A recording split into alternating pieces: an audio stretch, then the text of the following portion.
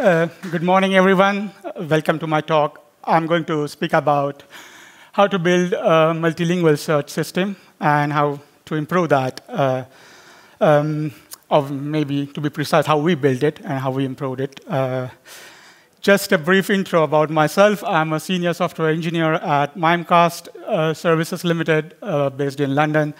I'm an Apache Lucene and Elasticsearch enthusiast. Um, I did my master's here in Germany from University of Freiburg. Um, that's my LinkedIn account if you want to connect to me. Um, and let's take a let's take a, a, glance at Mimecast. Let me introduce my company, Mimecast. Mimecast uh, makes uh, billions of um, users of their 32,200 plus customers, um, their emails and business data safer. Um, they, we store around 287 billion plus emails under our management in the size of uh, more than 40 petabytes. We process around 456 million plus emails every day, and our search volume is around 3 million messages or emails every week. Um, we have 12 data centers uh, strategically placed around, our, around the globe, and uh, that, that's what we call basically grids to, to serve our customers in different geographical regions uh, better. And the story I'm going to tell you about today uh, begins when uh, Mimecast uh, opened their data center uh, or started their German grid uh, in early 2018. So although it's multilingual, mostly we are going to focus on German and English because that's how we started serving customers non-English first time. Um, yeah, so that's, the, that's the famous joke about German Scrabble. The fact that German companies were the first companies uh, or customers that we served whose data was non-English. And um, our simplistic approach uh, at the beginning was that we will use just white space analyzer, so you know we can we can break it on white space and then so whichever language it could be, because most of the languages are broken down into white space. But German, in their unique uh, or can say unmatched uh, ability to create longest words by conjugating words after another, uh, it's really hard, uh, you know, to uh, break that word into subwords if you if you really tokenize only on white space. So imagine a pain of a person for example, searching for that word if we are, if we are storing only on white space and searching on white space tokenizer. So, um, for example, people might want to, to, to, search that word just by searching for Gesetz, isn't it? Why can't they search by just Gesetz and find the email containing that? So we need to change something there.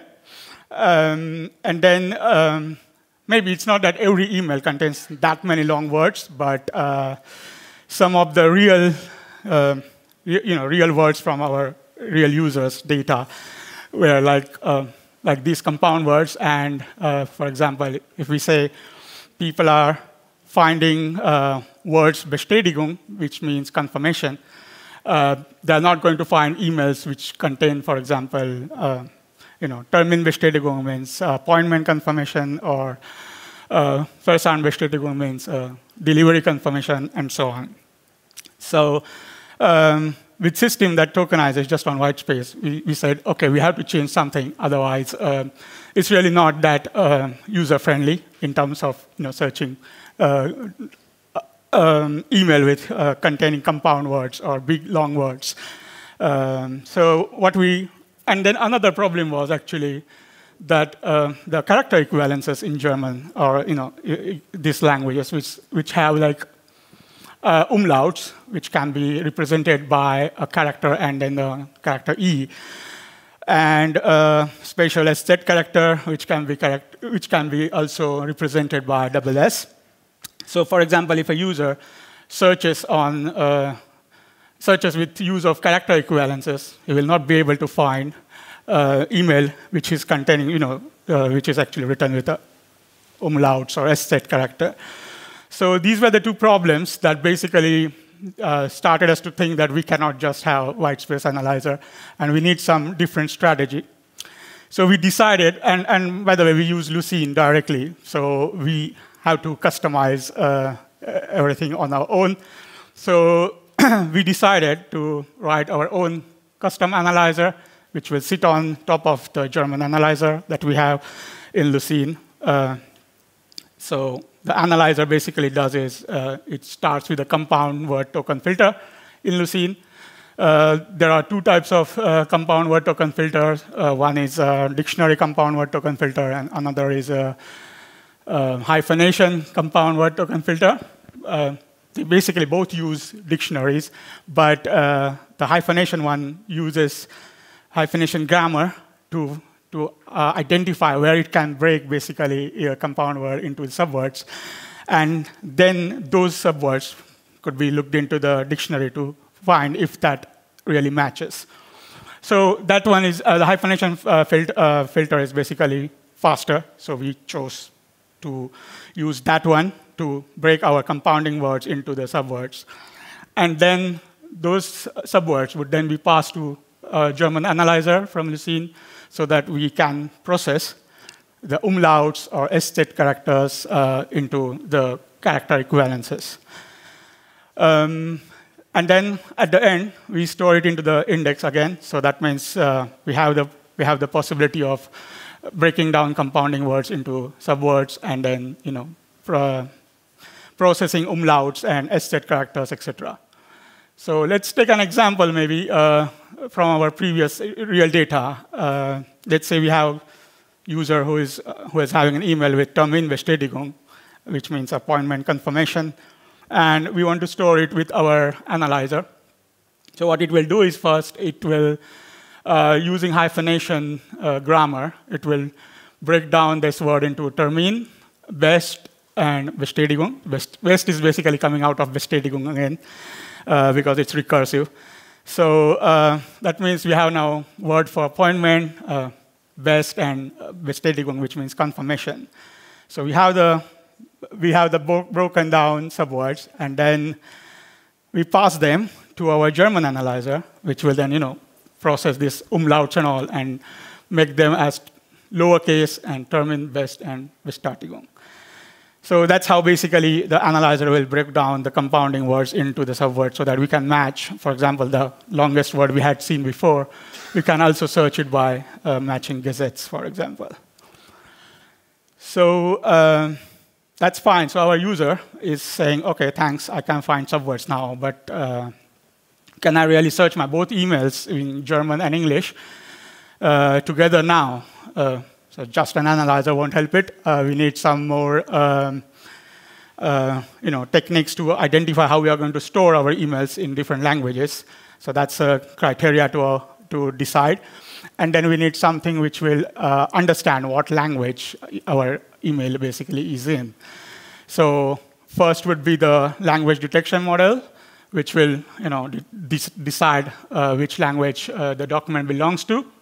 So we, we, we develop one uh, simple logistic regression model based on a Wikipedia dataset to identify the language. Uh, it detects languages with precision, but uh, the criteria here was not just precision, but also high recall for English, because although we are serving now multilingual, uh, the more or the most customers are still having English emails in our, uh, our corpus or our data. So we cannot uh, give the possibility that you know, English email being recognized as non-English. So uh, the idea for the language detection model was that uh, model which will give the highest recall for English so that it will identify the email uh, uh, from different languages as them, but it will mostly focus on not identifying English as non-English. So, so that part is, uh, is done there, but um, we still need to know how we are going to store our emails in, in Lucene Index. Uh, so there are um, three, uh, so there are three generally accepted ways to, to you know, put multilingual documents inside your Lucene index. Uh, one is basically you create a separate index for every language, and then you just uh, store your documents in every language in that respective index.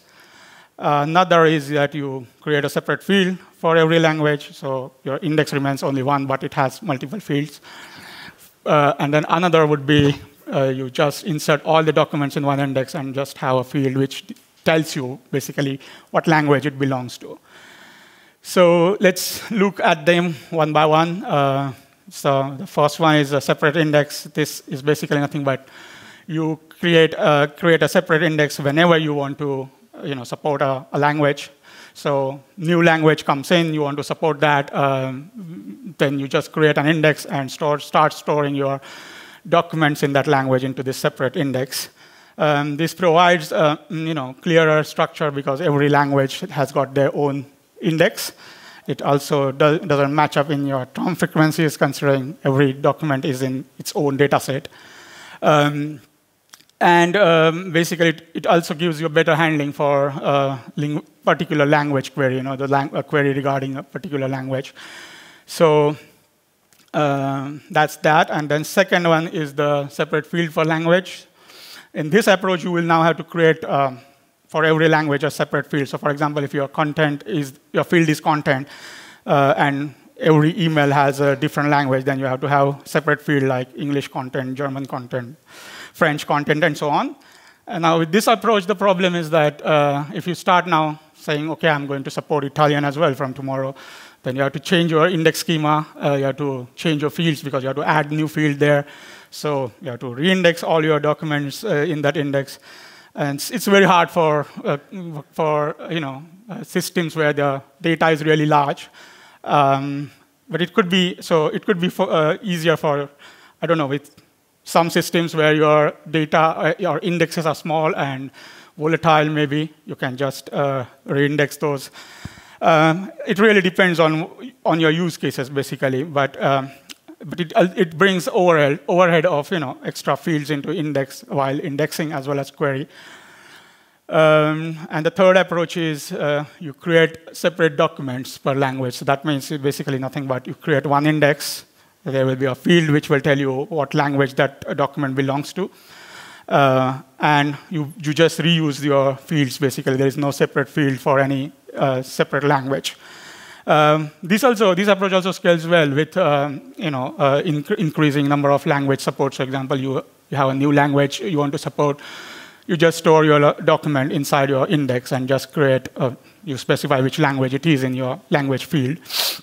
But since all languages are mixed up, uh, it, that, that could be a, a, wrong term frequencies problem. And uh, um, yeah, I mean, it, it depends again your uh, your project, but uh, what we what we decided is to better keep it clean, so we have every language its own its own index basically.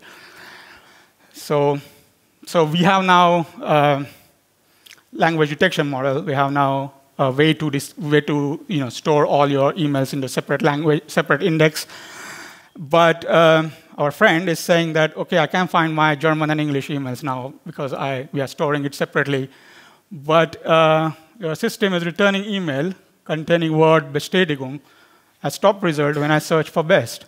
So he wants to have the ability to search uh, the subwords, but he says, okay, you cannot just search it. You just have to uh, uh, improve it in terms of relevance and uh, uh, precision. So the what, what's the what problem here is that we have, you know, balance. Uh, we have to balance our precision and recall. Basically, we increase recall by adding new terms in our index while we decompounded it. But we lost precision because now, as, as our friend was saying, that we can, we can match more emails or more documents to our queries because we have matching terms. So um, there could be there could be two ways to to handle this. One is to uh, one is to do query log analysis. So what what you can do is basically you analyze your query logs and see what users are searching or how they are searching and can feedback that basically back to your analyzer, saying, uh, you know, to fine tune your parameters, where to cut your subwords, or how, how much uh, longer you want to go for your subwords, or how small they should be. Because if, the, if, you, if you cut for like a small length of um, subwords, it's going to create more terms, and then it, it's going to be the situation that you are matching more emails. So basically, you can say, okay, I'm going to, let's say, I'm going to create subwords only if they are length of five or four, and then you will not have that many, that many terms created out of your analyzer, and basically not matching everything. So you minimize uh, uh, number of terms that are getting stored uh, and number of emails that are matching there. Uh, another way was uh, to rewrite your queries. So what, what we can do is we, we store um, the output of our analyzer, not basically into the same field, but into a separate field. So what you can do is you create another field called, I don't know, subwords, and store your, store your subwords into that field. And whenever your user is searching, you boost your actual um, field over your subwords field so that uh, docs containing uh, you know, the actual word that will be ranked higher than they, than they were matched just due to being in the subwords. So what I'm saying is, for example, the Terminbestätigung uh, created best, Bestätigung, and Termin. So you save those uh, subwords into your another field so that you only boost when when somebody is searching for best, you only only boost the words best in the content field and not from the subwords field. So the guy was, you know, our user was complaining why I get emails with uh, Bestätigung as a top result when I'm searching for best. Uh, we can solve it by that way, that we have only emails with best uh, at the top of our result. So in a nutshell, I would say uh, we build a we build a language detection. So basically, this scales for all languages. German and English were the most interesting one because of our use case as well as the, the ability to you know, compound, compound the words. But in, in a nutshell, uh, we can say that we, we need a language detection model which identifies which language uh, document belongs to. Then we need to decide on a structure, how we are going to store our emails or documents, whether in one index or separate indexes. Then in case of languages where there is a uh, compounding word, there are compounding words or something like that, we need an analyzer which analyzes correctly and you know, brings the subwords out of it. Um, and then in, in, in, terms of improvement, we can always rewrite queries to boost the documents, uh, to boost the fields, correct fields, so that the, the um, relevancy matches better and there is no loss of precision. Um, so that's, that's all from my side, actually. Uh, also, we are hiring smart engineers like all you guys. Uh, please join our, visit our careers page. Uh, uh and yeah. Wow.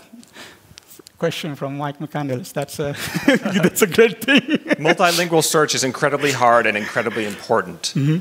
So you built a language detector, which is a missing piece of infrastructure in the open source world. So mm -hmm. two questions. Do you know about Google's compact language detector, which is an open source language detector factored out of the Chromium open source web browser? Mm -hmm. First question. Second question, do you have plans to open source your model?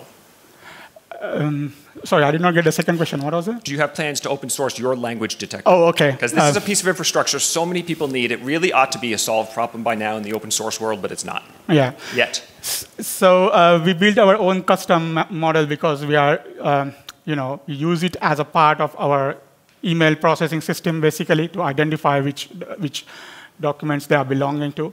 And um, we have a separate data analytics team which which created that uh, that language detection model.